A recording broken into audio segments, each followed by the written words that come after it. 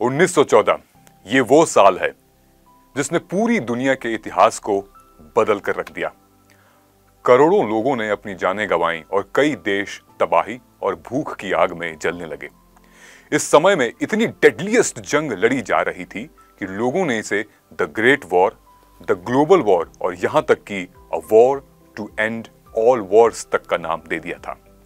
इस जंग में उठा बर्बादी का तूफ़ान न जाने कितनों के घरों के चिराग को बुझा गया था। हाँ अगर कुछ बाकी रह गया था तो वो थी खून से लाल हो चुकी जमी और लाशों का ढेर। इस जंग का पूरी दुनिया पर गहरा असर हुआ था। लोगों की आँखों में मौत का खौफ साफ़ दिखाई देता था। इस समय के लोगों का मानना था कि ये सभी वॉर्स का अंत है। अब इस तरह की घातक लड़ाई आने वाले 50 से 60 साल तक हो ही नहीं सकती। हालाँकि इस युद्ध के एग्जैक्ट 20 साल बाद एक और प्राणघाती जंग, जिसे वर्ल्ड वॉर टू कहा जाता है, उसकी शुरुआत हो चुकी थी। इसी वजह से 1914 में हुई इस जंग का नाम बदलकर वर्ल्ड वॉर वन रख दिया गया था। आज के इस वीडियो में हम जानेंगे कि वर्ल्ड वॉर वन जिसे हिंदी में पहला विश्व युद्ध कहते हैं, आखिर उसकी शुरुआत किस वजह से हुई थी? कौन नहीं चाहता उसका मेंटर एक यूपीएससी टॉपर हो या इंडिया की बेस्ट फैकल्टी में से एक हो?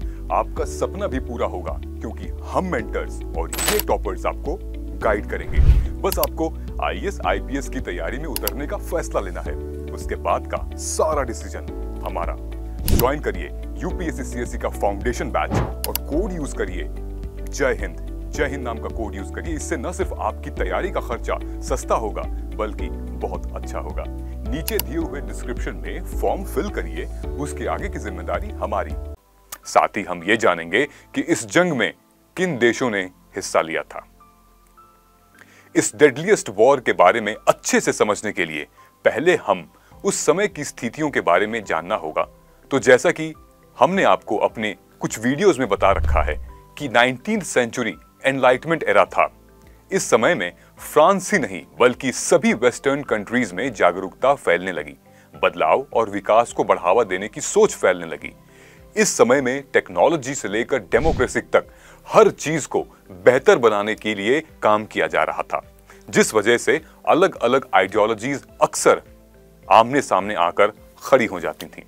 इस वक्त में कंट्रीज़ सुरक्षा के लिहाज से मिलिट्री और मॉडर्न वेपर पर भी खर्चा कर रही थी और देशों के बीच कई सारी ट्रीटीज साइन करवाई जा रही थी। जिनके मुताबिक दो कंट्रीज़ जंग की हालातों में एक दूसरे की रक्षा करने के लिए आगे आने का वादा कर रहे थे। ऐसा माना जाता है कि पहले विश्व युद्ध की वजह से करीब आधी दुनिया हिंसा यानी वायलेंस की चपेट में चली गई थी। इस दौरान लगभग एक करोड़ लोगों की मौत हुई, जबकि दो करोड़ से ज़्यादा लोग घायल हो गए। दोनों ही वर्ल्ड वॉर के कारण फैली बीमारियाँ और कुपोषण आदि ने भी लाखों लोगों की जान ले ली थी। ऐसे में इस युद्ध के खत्म होते होते दुनिया की चार बड़ी कंट्रीज़ रूस, जर्मनी, ऑस्ट्रिया, हंगरी और उस्मानिया, जिसे तुर्क साम्राज्य का विनाश हो गया था, जिसके बाद वेस्टर्न कंट्रीज़ की सीमाएँ एक बार फिर से बांटी गई और इस बार अमेरिका भी एक महाशक्ति बनकर दुनिया के सामने आया था। वर्ल्ड वॉर वन के दौरान विश्व का एक बहुत ही बड़ा हिस्सा लड़ाई लड़ने में लगा हुआ था।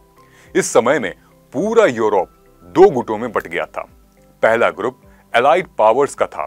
इसमें Great Britain France Russia Italy Romania Canada Japan and the United States आदि कंट्रीज़ के नाम शामिल थे।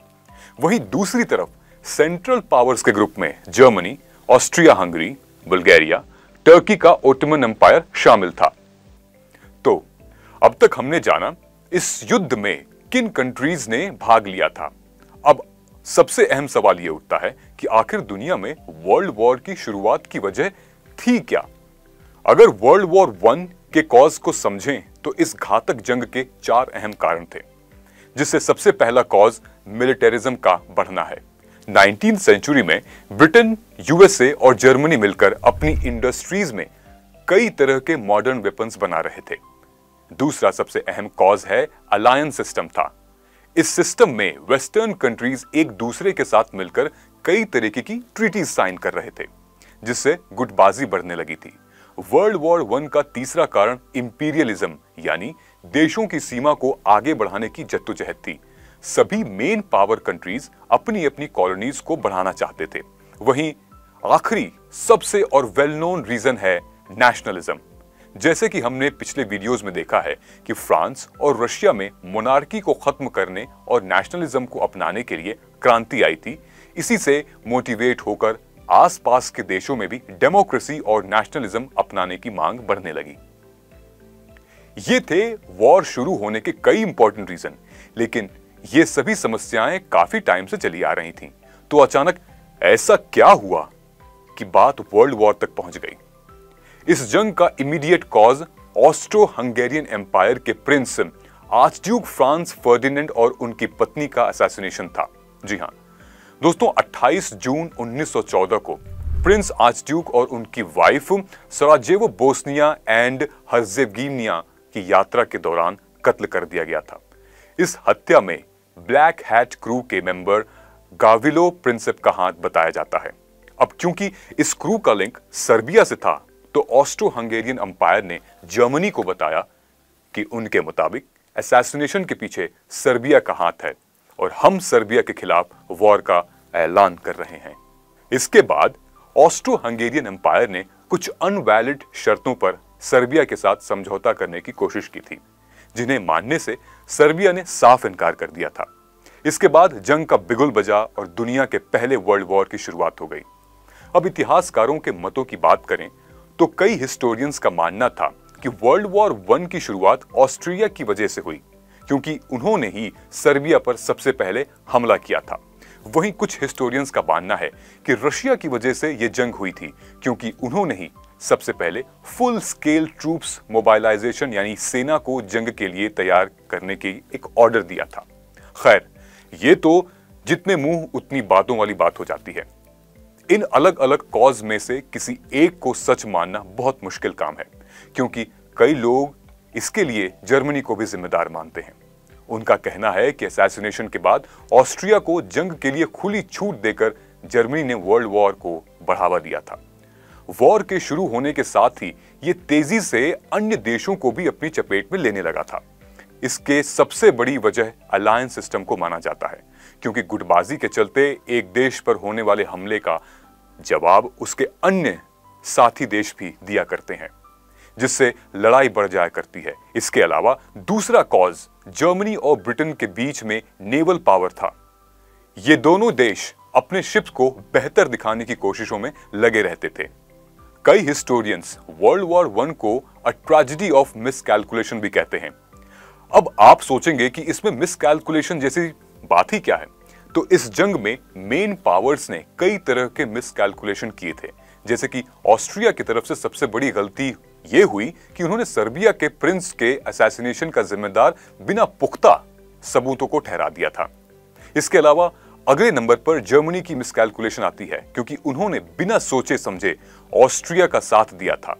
अब इन सभी बातों को ध्यान में रखकर हम ये समझ सकते हैं कि ये खूनी जंग बस दूसरे देशों की जमीनों को कैप्चर करने के लिए हुई थी।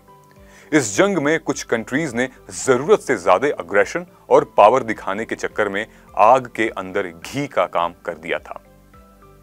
ऐसे में यह कहा जाता है कि मुख्य देशों के द्वारा सूझबूझ दिखाकर 28 जुलाई 1914 से लेकर 11 नवंबर 1918 तक चली इस वर्ल्ड वॉर वन को होने से रोका जा सकता था। आपका इस मामले में क्या सोचना है, हमें कमेंट सेक्शन में ज़रूर बताइएगा। और अगर आपको ये वीडियो अच्छी लगी है तो आपको ये वीडियो भी अच्छी लगेगी, जहाँ पर हमने मुगल साम्राज्य को लेकर कई सारी ऐसी वीडियोस बनाई थी, चाहे वो महाराणा प्रताप पे हो, या शिवाजी पे हो, या फिर रानी लक्ष्मीबाई पे हो। आप ज़रूर अपने विचार कमेंट सेक्शन में बताइएगा। मिलते हैं अगले वीडियो में, तब तक जय हिंद।